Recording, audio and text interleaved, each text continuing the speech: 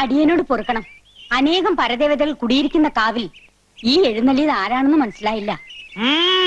രാമവർമ്മയുടെ ശരീരത്തിൽ കൂടിയിരിക്കുന്നത് ശങ്കരനാരായണൻ നമ്പിയാണ്. ഇപ്പൊ മനസ്സിലായോ? എന്റെ വല്യച്ഛ ഞങ്ങളെ അനുഗ്രഹിക്കണേ. എന്താണാവോ ഈ വരവിന്റെ ഉദ്ദേശം? എന്റെ കുഞ്ഞുകുട്ടി പരാധീനങ്ങളെ എനിക്ക് കാണണമെന്ന് തോന്നി. ഉണ്ണികൾക്കെല്ലാം സുഖമാണോ എന്ന് അന്വേഷിക്കണമെന്ന് തോന്നി.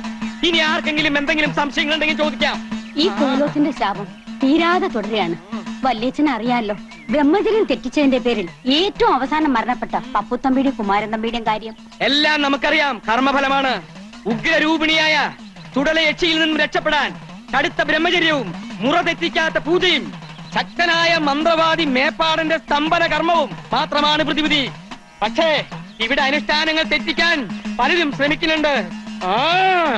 മുറകൾക്കൊന്നും ഇതുവരെ ഒരു തെറ്റും വരുത്തിയിട്ടില്ല. മുറകൾ തെറ്റിച്ചത് ആരാണെന്ന് അങ്ങ് പറഞ്ഞാൽ അടിയൻ തക്ക ശിക്ഷ കൊടുത്ത് തെറ്റ് തിരുത്തിക്കോളാം. പറയാം. എവിടെ കൃഷ്ണൻ? കൈ കഴിക്കണം ഒഴിച്ചേറിയ അതാ സൗകര്യം. കൃഷ്ണേട്ടാ അത് ശരി. ഇവിടെ കള്ളുകൂടിയായിരുന്നല്ലേ ഞാനിന്ന് പറഞ്ഞു കൊടുക്കാം. ഞാൻ കള്ളുടിക്കേ. ഇന്ന് മദ്യ നോയമ്പല്ലേ അതിന്റെ വഴിപാടായി കഴിച്ചതാ. മദ്യ നോയമ്പോ ആ. ഏകാദശി നോയമ്പ് അമാവാസി നോയമ്പ് എന്നൊക്കെ കേട്ടിട്ടില്ലേ? അതേപോലെ മദ്യ നോയമ്പ് ഇന്ന് മദ്യം കഴിച്ച പിതൃക്കൾക്ക് മദ്യശാന്തി കിട്ടുവേ. എന്ത് നോയമ്പായാലും ശരി ദേ കാവിലെ അമ്മാന്റെ ദേഹത്ത് വെളിച്ചം കയറിയിരിക്കണോ ചേട്ടനെ അന്വേഷിച്ചു. ഈശ്വര ചതിച്ചോ? ദേ മുത്തശ്ശിയോടൊന്നും പറഞ്ഞേക്കല്ലോട്ടോ? എനിക്ക് പ്രീ ഡിഗ്രിക്ക് ക്ലാസ് ഉണ്ടാവോ വല്യമ്മാവ? വല്യമ്മാവനല്ല വല്യച്ഛൻ. നല്ല മാർക്കുണ്ടെങ്കിൽ പിന്നെ മെഡിസിൻ സീറ്റ് കാശ് കൊടുത്ത് ബുക്ക് ചെയ്യണ്ടല്ലോ എന്ന് കരുതിയ ഇവക്ക് നല്ല മാർക്ക് ഉണ്ടാവോ വല്യച്ഛ? ഉണ്ടാവില്ല എന്ന് മാത്രല്ല തോൽക്കുകയും ചെയ്യും. ആ ഇനി എല്ലാവരും ഒന്ന് അനുഗ്രഹം വാങ്ങിക്ക.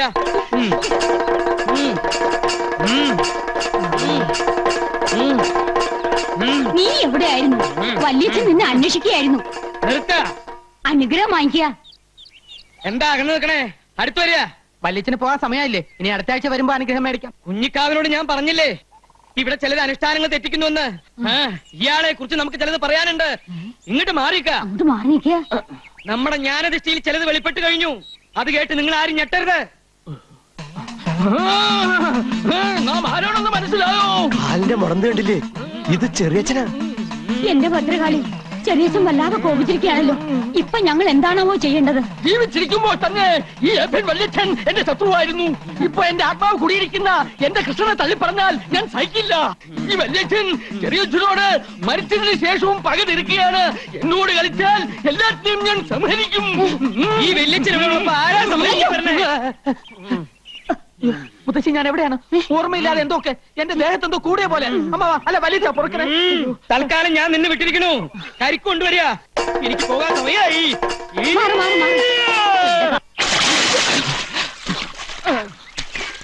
എടാ നിന്റെ ദേഹത്ത് ചെറിയച്ചൻ കേറി എന്ന് പറയുന്നതിൽ എനിക്ക് സ്വല്പം സംശയമുണ്ട്. അതെന്താ അമ്മാവ അങ്ങനെ പറയണേ?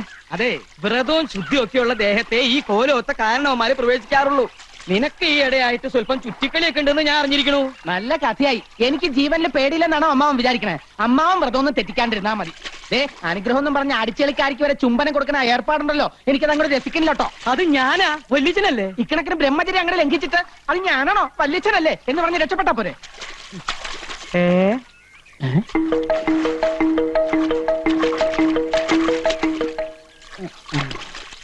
കണ്ടോ കണ്ടോ? സ്ത്രീകളെ കാണുമ്പോൾ ഈ നോട്ടം തന്നെ ശരിയല്ല. ഞാൻ ആരാണെന്ന് നോക്കിയതാ. അത് ഞാൻ നോക്കി പറഞ്ഞു പറഞ്ഞുതരാലോ.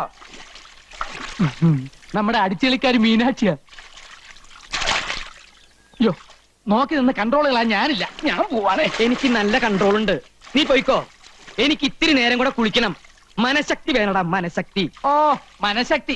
സ്വന്തമായിട്ട് ആനെ വാങ്ങാനോ കഴിവില്ല. അപ്പൊ പിന്നെ ഉത്സവം കണ്ട് രസിക്കാലോ അല്ലേ?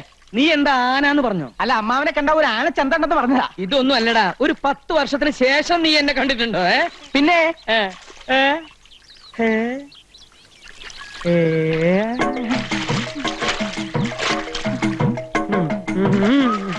മനഃശക്തി തരണേ.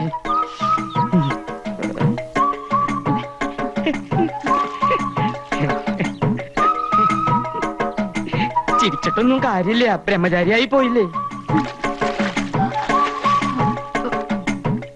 ഇവളിത് എന്തു ഭാവിച്ച? ഞാൻ അത്രക്കാരനൊന്നുമല്ല. ഭഗവതി മനഃശക്തി തരാൻ മറന്നു പോവല്ലേ? നീ മനഃശക്തി ഒന്നില്ലെങ്കിലും ഞാൻ സ്വന്തമായിട്ട് ഇത്തിരി മനഃശക്തി ഉണ്ടാക്കാൻ പോവാ. കിട്ടില്ലോ കിട്ടി.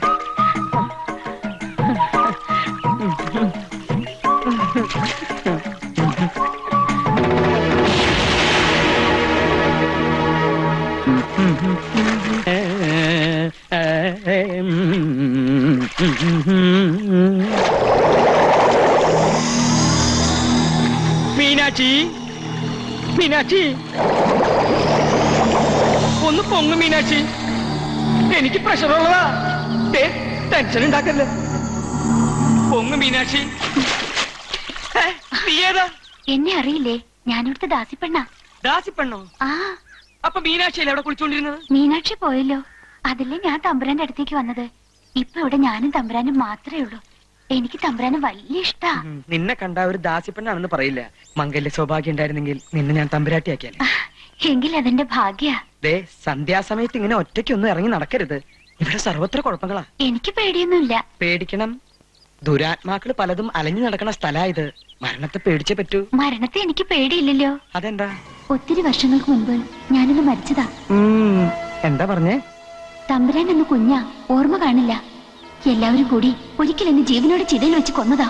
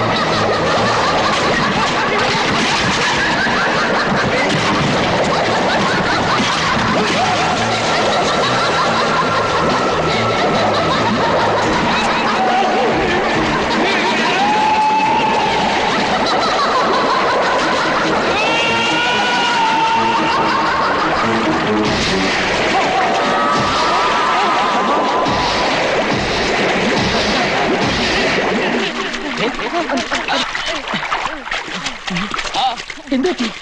എന്ത് പറ്റിയ മാവ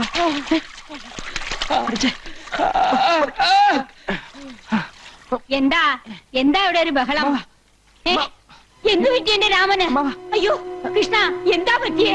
എനിക്കൊന്നും അറിയില്ല മുത്തശ്ശി. ഞാൻ കുളി കഴിഞ്ഞ് നേരത്തെ പോയി. പക്ഷെ അമ്മാവൻ കുളിക്കുമ്പോ തൊട്ടപ്പുറത്ത് നിന്ന് ദാസി പെണ്ണുങ്ങൾ കുളിക്കുന്നുണ്ടായിരുന്നു. ഇനി ദുർബല നിമിഷത്തിലെ ബ്രഹ്മചര്യം വല്ലതും ചതിച്ചോ ഭഗവതി? പണിക്കരെ ഉടനെ മേപ്പാടുന്ന മരുന്ന്. ഭക്തയേ ശക്തിഹസ്തായ. ഭഗവാനെ. ഇത്രയും കാലം ഭയപ്പെട്ടിരുന്നത് സംഭവിച്ചിരിക്കണു. ആവാഹിച്ച് ബന്ധനസ്ഥയാക്കിയ ദുരാത്മാവ് എങ്ങനെയോ രക്ഷപ്പെട്ടിരിക്കണു. വരുന്ന വഴിക്ക് നോമുള്ള സാന്നിധ്യം മനസ്സിലാക്കിയിരിക്കണു. ഇതെങ്ങനെയാ സംഭവിച്ചത്? ഇവിടെ ആരെങ്കിലും ബ്രഹ്മചര്യം ലംഘിച്ചോ? ഇല്ല. വ്രതാനുഷ്ഠാനങ്ങൾക്ക് വിഘ്നം വരുത്തിയോ? കണ്ടില്ലേ?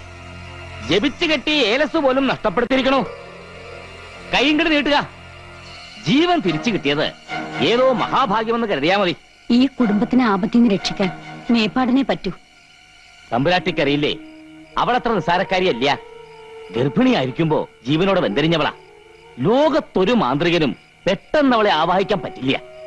നാൽപ്പത്തൊന്ന് ദിവസത്തെ വ്രതാനുഷ്ഠാനങ്ങൾ ഹോമങ്ങളും ചെയ്ത് കരുത്താർജിച്ചാണ് അന്ന് അവളെ നാം ആവാഹനം ചെയ്തത്. വീണ്ടും ആ കരുത്ത് നേടേണ്ടിയിരിക്കണോ? ഇല്ലെങ്കിൽ നമ്മെ പോലും അവൾ അപകടപ്പെടുത്തിന്നിരിക്കും. തൽക്കാലം എല്ലാവരും കരുതിയിരിക്കുക. ജപിച്ചു കെട്ടിയ ഏലസ് നഷ്ടപ്പെടാതെ സൂക്ഷിക്കുക.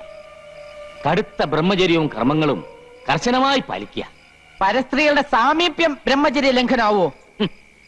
എന്താ സ്ത്രീ സാമീപ്യം വേണമെന്ന് കൃഷ്ണൻ നമ്പ്രാൻ വല്ല മോഹം ഉദിച്ചോ? ഏയ് അങ്ങനൊന്നുമില്ല. അറിഞ്ഞിരിക്കാം. ഈ തറവാട്ടിൽ ഇന്ന് ജീവിച്ചിരിക്കുന്ന അനന്തരാവാസികളായ മൂന്നാന്തരികളും കർശനമായി ബ്രഹ്മചര്യം പാലിച്ചേ പറ്റൂ. എന്നെ നോട്ടിട്ടിരിക്കണേ വല്ല ദാസ്യപ്പെണ്ണിന്റെ രൂപത്തിലും ഇനിയും അവൾ വന്നാലോ? എന്നെ രക്ഷിക്കണം. പേടിക്കണം അതിനാണ് മന്ത്രം ജപിച്ച് നാം ഏലസ് തന്നിരിക്കുന്നത്. അവൾ ഏത് രൂപത്തിൽ വേണമെങ്കിൽ പ്രത്യക്ഷപ്പെടുകയോ വേണ്ടി വന്നാൽ സ്പർശിക്കുകയോ ചെയ്തോട്ടെ. പക്ഷെ ഏലസ് ഉള്ളിടത്തോളം കാലം നിങ്ങളെ ദുർമരണത്തിലേക്ക് നയിക്കുവാൻ അവളെ കൊണ്ടാവില്ല. ഈശ്വരാധീനം ഉണ്ടെങ്കിൽ അപകടം ഒന്നും സംഭവിക്കില്ല എനിക്ക്